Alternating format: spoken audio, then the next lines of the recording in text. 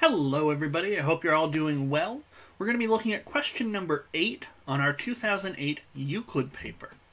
So let's take a look here. So I got two parts, both written. Points A, B, C, and D are arranged as shown, with AB parallel to DC. And P is the point of intersection of AC and BD. Okay. Also, AC equal uh, ACB is 90 degrees. AC and is equal to CB. Okay, so it's a nice little right angle tri- an isosceles uh, right angle triangle. And AB equals BD, and they're both 2. Determine the measure of DBC, this, this little angle right here. Okay. So we don't have. I'm noticing there's a distinct lack of things talking about P. None of the extra information we're given involves P, so I wonder how P is going to work here. Hmm. I'm also noticing that if I connect up AD, I will get a second isosceles triangle. Hmm. Things to think about.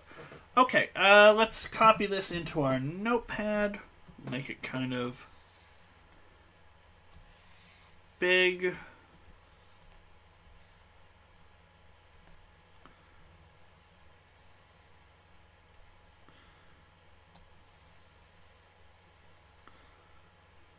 I mean, it might just be that P exists in some fashion, but I'm not entirely sure. Maybe it just it forces D to be on this side of C. I don't know yet. Got a right angle here. I am going to first switch colors. I'm going to connect up A and D. Okay, and then we've got uh, P there. And because AC and BC are equal, whatever they might be, we know we've got 2 here. And so, if we have an isosceles right angle triangle, both of these sides are x, 2x squared is going to be 2 squared. So dividing by 2 on both sides, x squared is going to be 2. So both of these are root 2. Not only that, because it's isosceles, I can drop this perpendicular down. And this is going to be 1, this is going to be 1. And more importantly, the distance between these two parallel lines is 1, and that might be important in some way. Okay. Um, there isn't a whole lot you need to, to say to justify this. I mean, the quick Pythagorean theorem on the side, uh, you might say, you know, A, B, C is isosceles.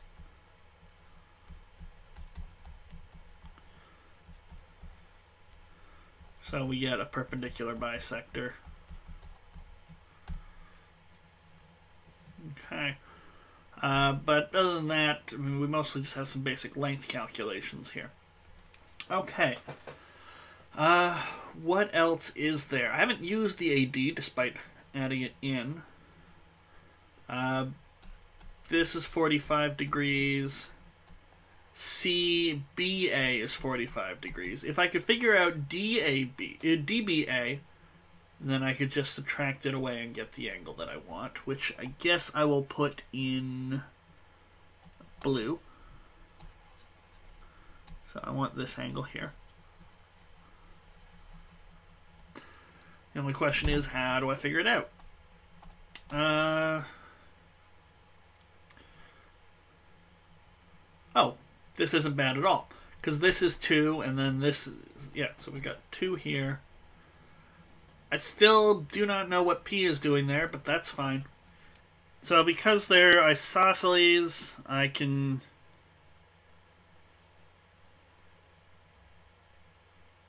No, wait, wait. Hmm. Oh. So I thought I had it there because they're isosceles and I could figure out uh, these angles here, but I can't without this length AD. I can, however, um, Just put this one down here with purple. If I drop this perpendicular, call this maybe E, then I can say, well, E, is, e DE is 1, because it's the same height.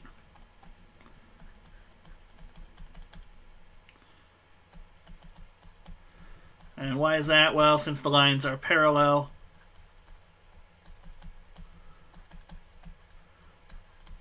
the distance between stays the same. And now that I've got this 90 degrees, I've got a, I've got a, a 30, 60, 90 triangles. 2, 1, this will end up being root 3. But because of that, I will get 30 degrees here. And that tells me the remaining uh, angle here is 15 degrees.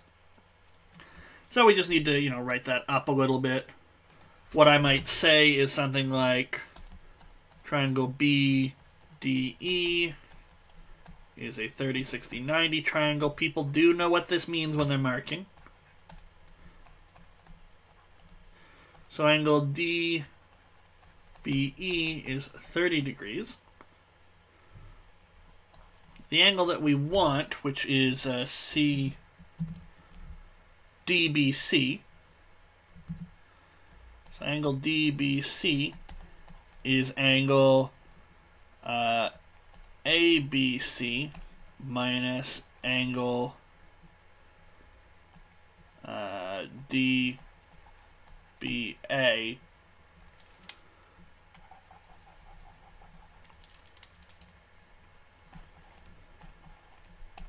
which is 45 degrees because it's an isosceles right angle triangle, minus 30 degrees because it's a 30, 60, 90 triangle, and therefore 15 degrees. But the important thing, because it's a written question, is we do have to show our work. So, you know, we've justified the 30, 60, 90 triangle, and that came from figuring out the height, which came from the fact that uh, it's an isosceles right angle triangle. So there's not a whole lot going on there. Not really any complicated trick. Didn't need DA, also didn't need point P.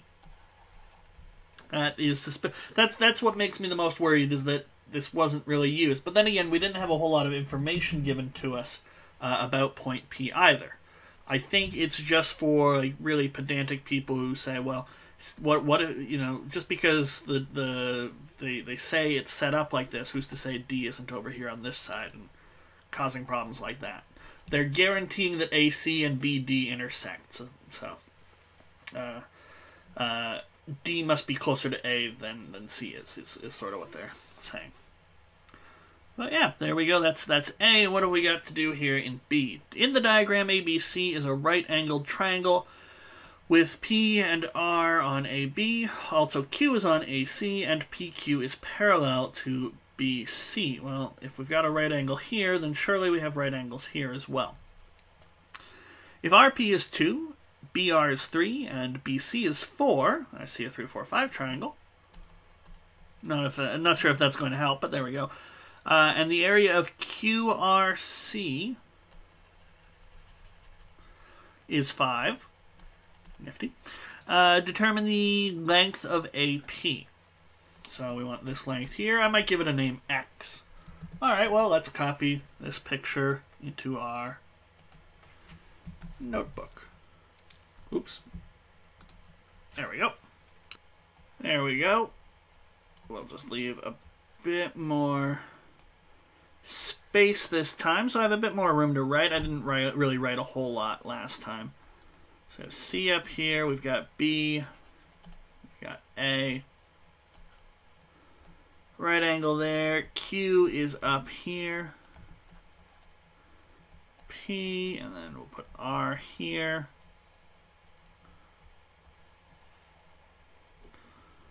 So we got two here, three, four. We know this area here is five. Now the areas make me think that I should break down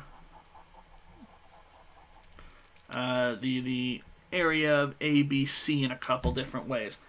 Because I, can, I can get this area fine here, this area here, and I will call this X.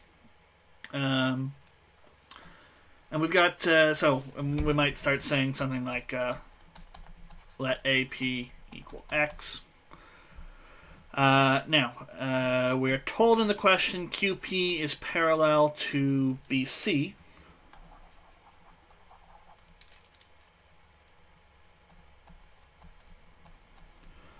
So that means that QP is also going to be perpendicular to AB. So we get a nice little perpendicular line there.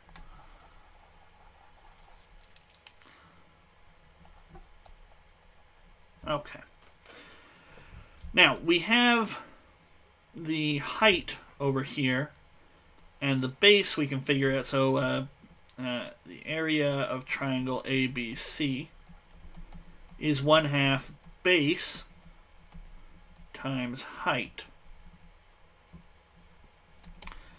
But that's going to be 1 half 5 plus x times 4. And that's just going to be uh, 2 times 5 plus x, or 10 plus 2x. Okay, so that's so we've got the the whole area. Now what I'm going to do is I'm going to break it down in terms of these triangles here. And you know this this one here is five. That's fine. This one here is going to be three times four divided by two, so it's going to be six. Not really a problem there. But it's these other two. We have their bases, two and x, but their height. Uh, I don't know what their height is exactly. But I see we've got some similar triangles we can play with. So we'll say something like uh, uh, AQP similar to. You want to make sure you get the, the letters corresponding correctly. So I've got the right angle letter last here, and they do share this common uh, angle here at A. So I can say something like AP over QP, this height that I don't have, is this has the same ratio as AB, this base that we've uh, we've been working with, to the height CB. So that's x over whatever QP is, is the same as 5 plus x over 4.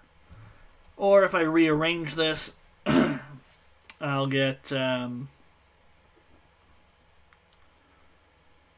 uh, 4x over 5 plus x is equal to QP. Just cross multiplying there. Okay, so I've got this height here. And now, because I got the height and the bases, I can get the, the other two triangles. And now I can break down uh, ABC in two different ways. So we know 10 plus 2C is the area of ABC. But that's also the area of uh, CRB plus the area of CRQ plus the area of RQP plus the area of APQ. And so that's 1 half 4 times 3 plus, they just gave it to us, it's 5 plus 1 half 2 times this height that we have here, so that's 4x over 5 plus x plus 1 half x 4x over 5 plus x. Uh, so 6 and 5, that's 11. The half and the 2 will cancel out.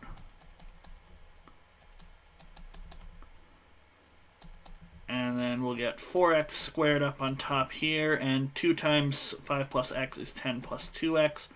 So I'm going to multiply by 10 plus 2x on both sides. I'll get 100 plus 40x plus 4x squared is equal to 110 plus 22x plus 8x plus 4x squared. Now these 4x squareds are going to cancel. Uh, I'll be left with 30x over here and 110 over here. 40x here, so we'll get um, 110 minus 100 is 10. 40x minus 30x is 10x. And so pretty quickly we get x is 1. I thought for a second when we saw these quadratics that I might have uh, sort of two possible answers for x, and I'd have to discard one of them because it's uh, a negative length. But no, uh, the 4x squareds actually happen to cancel out, and x is just going to be 1, and that's that's going to be our length. So not a whole lot to say. I mean, you could put a little therefore statement, AP has length 1, but I don't really think we need it. And uh, that wraps up question number 8 for us. We got two more questions to go, 9 and 10, uh, and then we'll finish up this, this Euclid paper. Uh, thanks for watching. Feel free to like or subscribe uh, if you want to be kept up to date in terms of when I'm posting these things. Feel free to leave a comment down below if you've done this question or indeed any of the, the this Euclid's questions differently. I always like seeing different solutions. And, you know, if you want to, even just leave a comment saying, hey, I love it when people say hey. Plenty of people do. Uh, but that's going to be it. I will see you in the next video for question number nine. Until then, take care and have a wonderful day.